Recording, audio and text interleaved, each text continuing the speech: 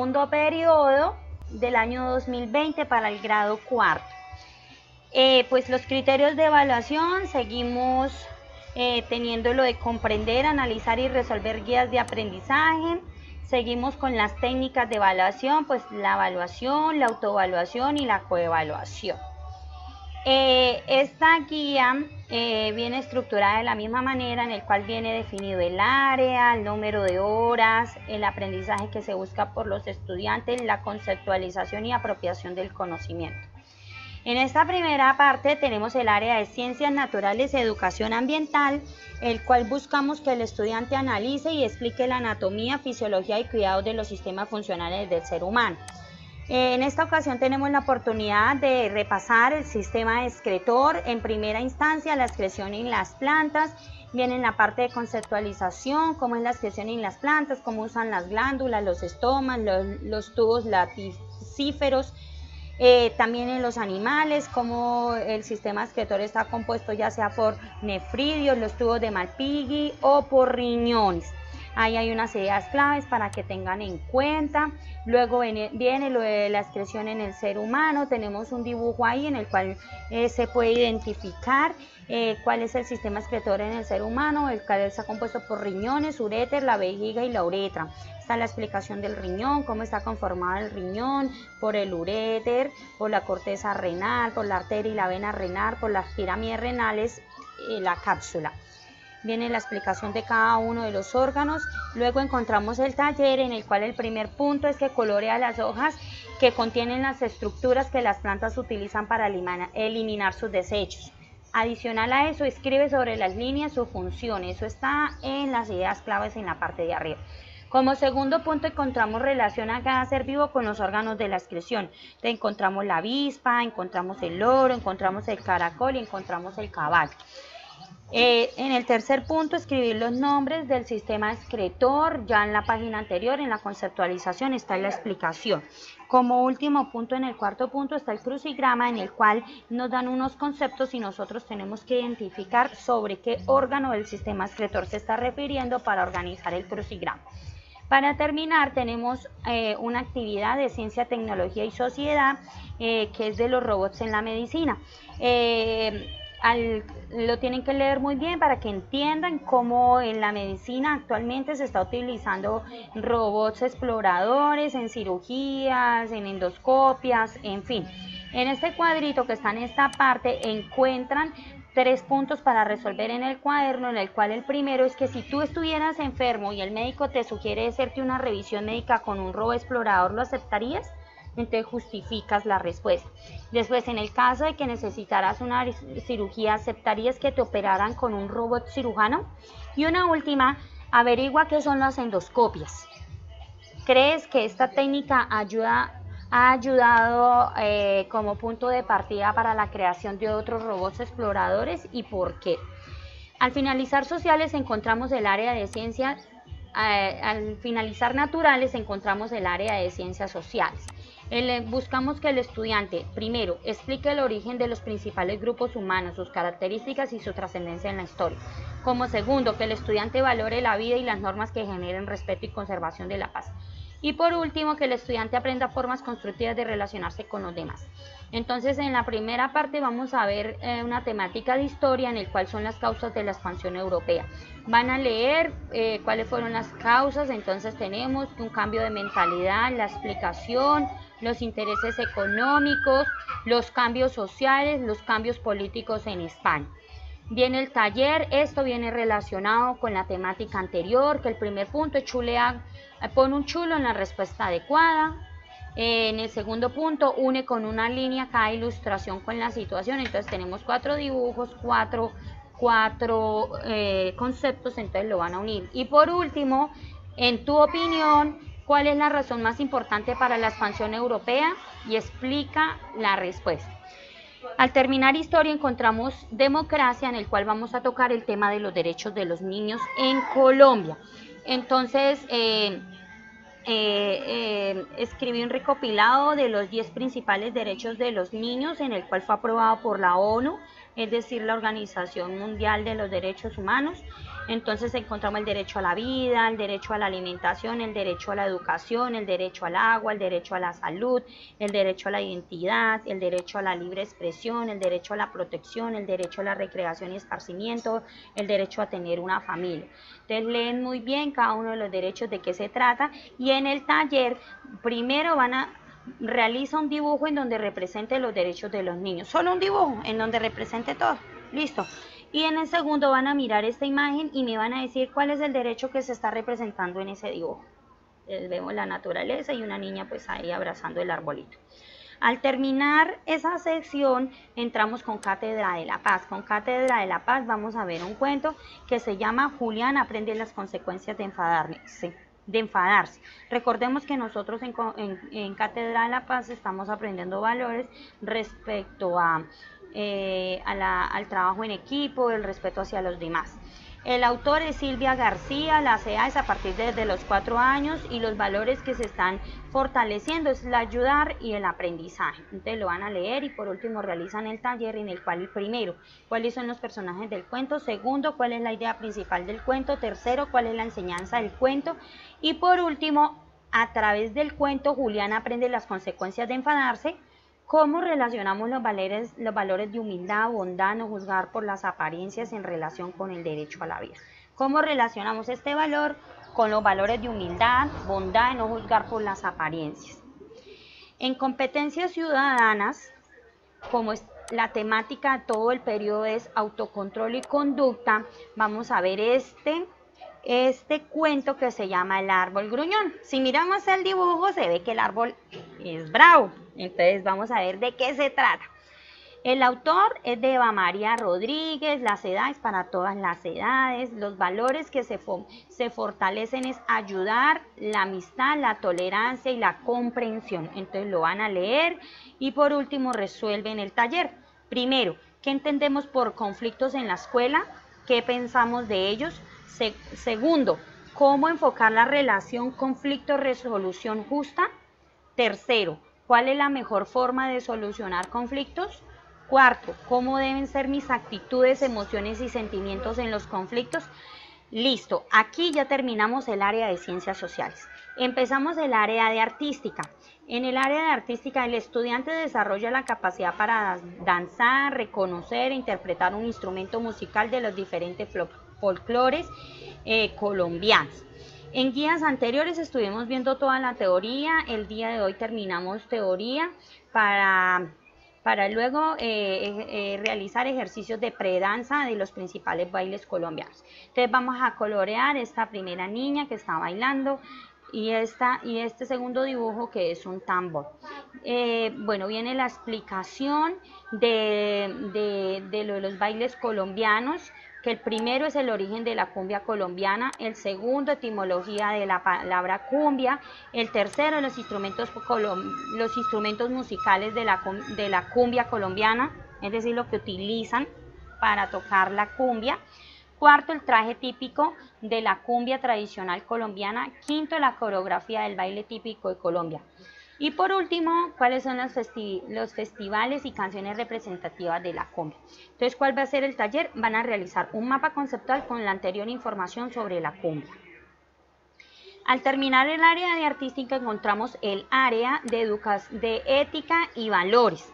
Buscamos que el estudiante reconozca y, explique la importancia de los valores humanos en situaciones eh, que influyan en la convivencia.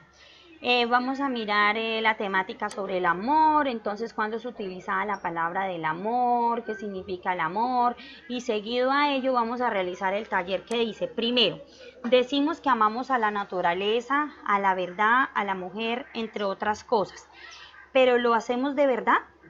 Escribe una reflexión de cómo demostramos nuestro amor por los demás y por la naturaleza y van a colorear estos dibujos. Entonces en el primer dibujo hay un árbol con un niño abrazados y en el segundo dibujo encontramos las hormiguitas ahí al lado de, de, una planta eh, demostrándose también el amor.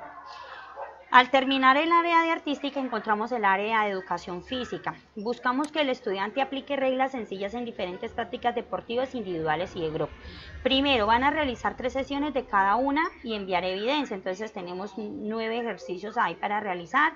Entonces los realizan de a 30 segundos cada uno, descansan un minuto, vuelven y hacen otra vez 30 segundos cada, cada, cada ejercicio, descansan un minuto y vuelven y hacen 30 segundos cada ejercicio. Mandan la evidencia, es decir, tres sesiones eh, repitiendo los nueve ejercicios. Como segundo van a encontrar una mandala de los deportes, la van a colorear, eh, se pueden dar cuenta que es muy bonita. Al terminar el área de educación física encontramos el área de religión. El estudiante evalúa su relación con Dios como ser supremo y valora su influencia en nuestras vidas. En esta ocasión entonces vamos a trabajar eh, la promesa de la salvación que encontramos aquí. Entonces como primera instancia encontramos eh, encontramos unos, primero unos, unos, unos conceptos en el cual van a, van a leer y, y, con, y después van a escribir en familia cuáles serían eh, los valores que se necesitan para vivir en familia y con los compañeros. Seguido a ello un laberinto en el cual eh, van a buscar el camino que deben seguir los niños para llegar al portal de Belén. Entonces, en donde esté tapado el camino no pueden pasar. La idea es que eh, los valores pues sean valores positivos. O sea, yo no me voy a ir por donde encuentro enfado ni tristeza, ¿verdad? Ni desobediencia porque eso no serían, no serían valores positivos para llegar aquí al portal de Belén. Seguido a ello encontramos un crucigrama de los personajes y fiestas de Adviento. Entonces van a leer muy bien horizontal, izquierda derecha y vertical de arriba hacia abajo. Terminando el área de religión encontramos humanidades. En la primera parte de humanidades vamos a ver lengua castellana o español que se busca que el estudiante, el estudiante prevé el propósito y las, intenciones que debe cumplir un texto, atendiendo a las necesidades de la producción textual en un contexto comunicativo particular. Entonces, en el libro de lenguaje, de lenguaje entre textos del PTA que estamos trabajando, lectura crítica, vamos a trabajar el desafío 33 y 34. Ahora sí, en español vamos a trabajar sinónimos y antónimos. Entonces aquí viene la explicación que es un sinónimo, que un sinónimo son las palabras parecidas. Por ejemplo, basura, mugre y suciedad. Todas tienen su parecido. Lento, tardo, pausado. En cambio, el antónimo es lo contrario. Ejemplo, oscuridad, claridad. Hondo, pando. Áspero, suave. Otro, blanco, negro liso, eh, arrugado. Bueno, entonces aquí ya venimos con, los talleres. En el primer taller, entonces en, eh, el primer punto es un crucigrama en el cual en las palabras horizontales le piden unos antónimos con sinónimos. Eh, en el segundo, en las palabras, también en las palabras verticales, sinónimos y antónimos. Ejemplo, el primer horizontal dice antónimo de salud. Pues, ¿cuál será lo contrario de la salud? Enfermedad. ¿Cierto? Si aquí dice en palabras verticales el número 2, sinónimo de locura, sinónimo es parecido, entonces sinónimo de locura sería demencia, ¿cierto? Entonces escribirían demencia.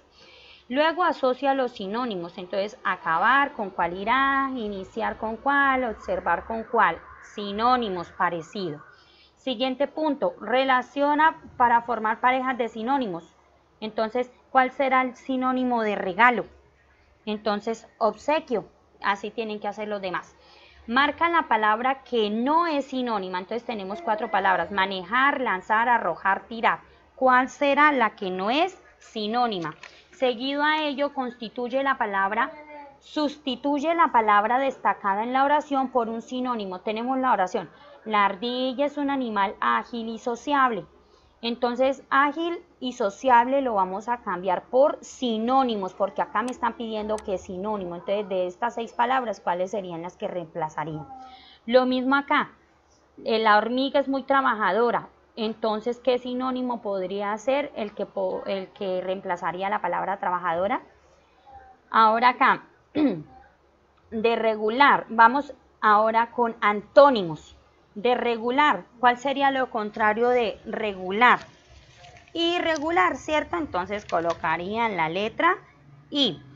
Otra, tapar. ¿Qué es lo contrario de tapar? Destapar. Entonces, ¿qué iría aquí? Des, ¿verdad? Entonces así hacen las demás. Luego relaciona cada palabra con su antónimo. En esta ocasión es antónimo, lo contrario. Entonces la van a, la van a relacionar. Por lo menos también, ¿con quién sería? Tampoco. Ahora acá, ojo con este cuadro, ahí les coloqué una observación. Ojo, de izquierda a derecha, amarillo sinónimos y rojo antónimos. Entonces, de izquierda a derecha. Dice, agradable, molesto, grato, apetecible.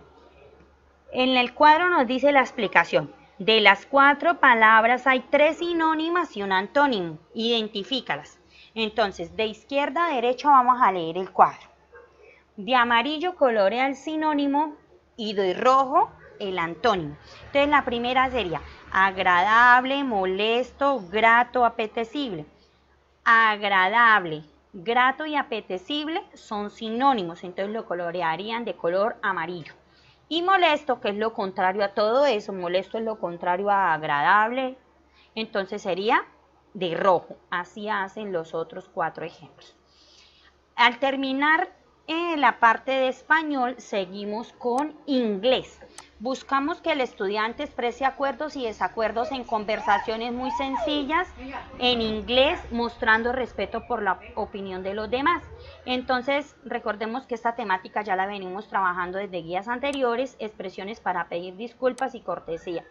Entonces está la primera, que es una historieta que van a realizar, traduce la conversación.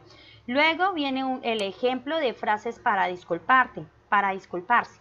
Uno, lo siento mucho, perdóname. Ahí viene en español, en inglés.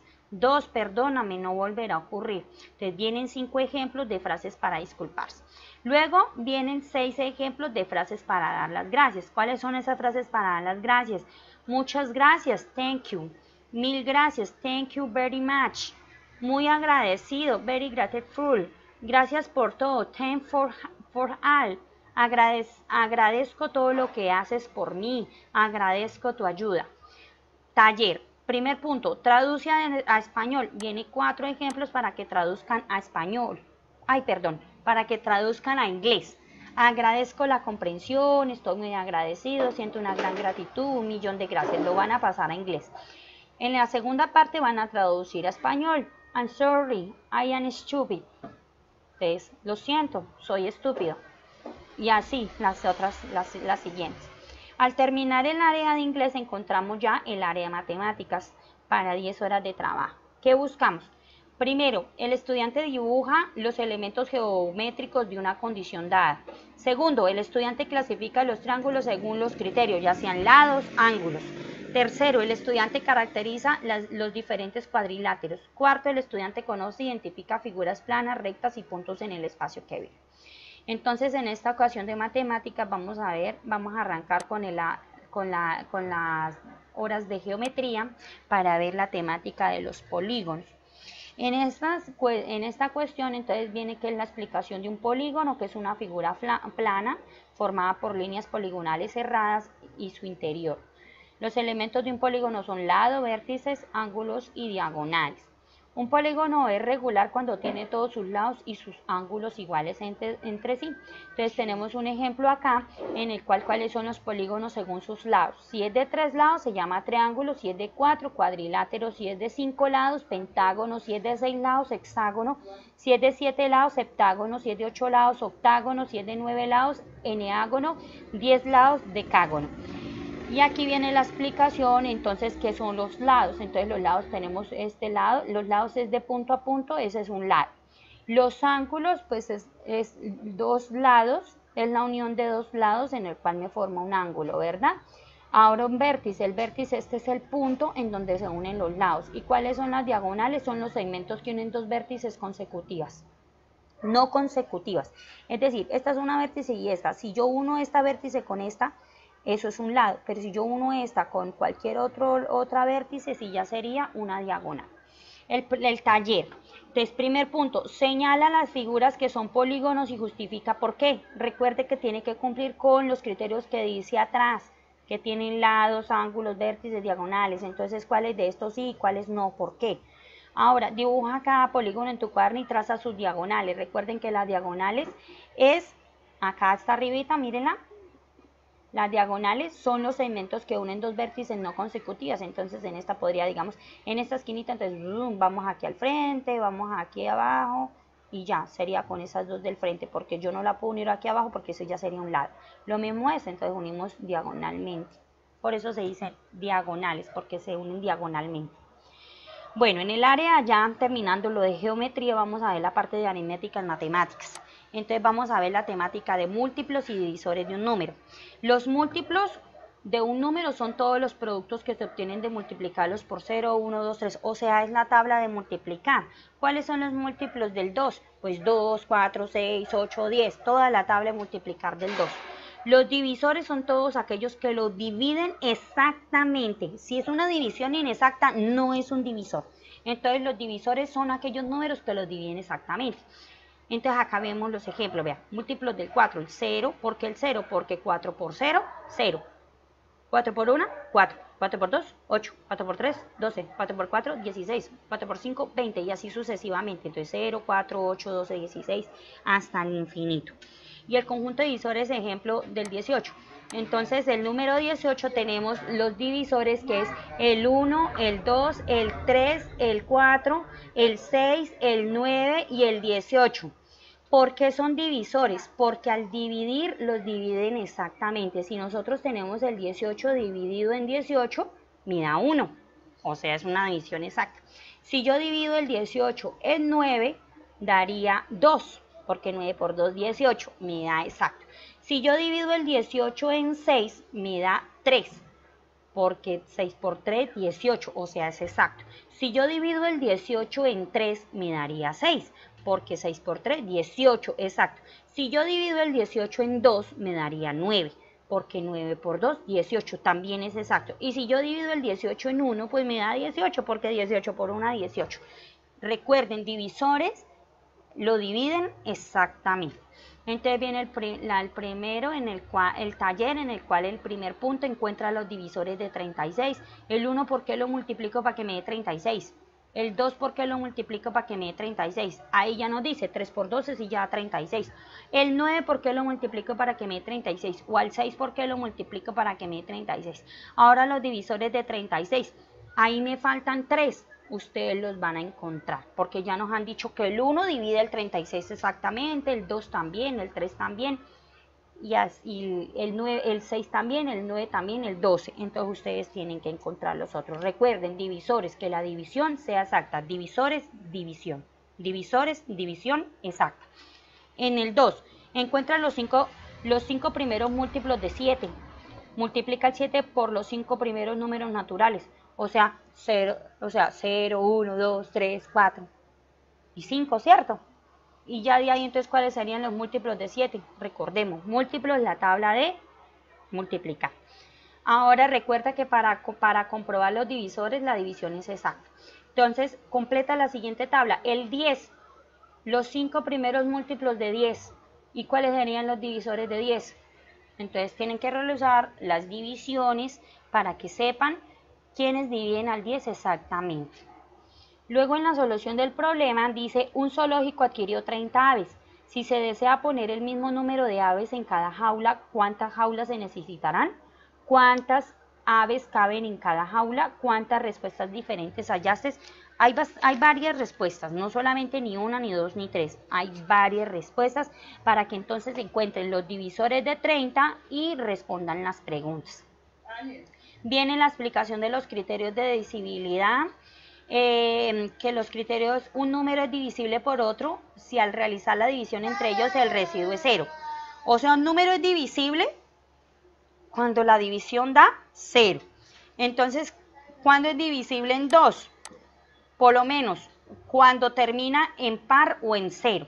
Ejemplo, 30 es divisible de 2 porque su última cifra es 0. Y si yo divido a 30 en 2, me da 15. 15 por 2, 30, o sea, una división exacta. Aquí mismo lo dice, mire, el residuo es cero, es decir, divisiones exactas. Cuando un número es divisible en 3, cuando la suma de las cifras es un múltiplo de 3. Seguimos con el número 30, vean acá. Es divisible por 3 porque ah, dice que al sumar las cifras del 30, 3 más 0 me da 3. Y 3 es un múltiplo de 3 porque 3 por 1, 3. Ahí está bien. Cuando un, número, cuando es divisible en 4, si es par, cuando un número es par, cuando termina en 0, 2, 4, 6, 8. Eso es un número par. Entonces, un número es divisible por 4 si es par y su mitad también es par. Ojo, y su mitad también es par. Seguimos con el número 30. 30 no es divisible en 4 porque es par, pero ¿cuál es la mitad de 30? 15. Y 15 no es par, entonces no se cumple. Vamos a mirar un ejemplo, 40. 40 termina en 0 si es par. ¿Y cuál es la mitad de 40? El 20. Y como el 20 es par, entonces el 40 sí es un número divisible de 4.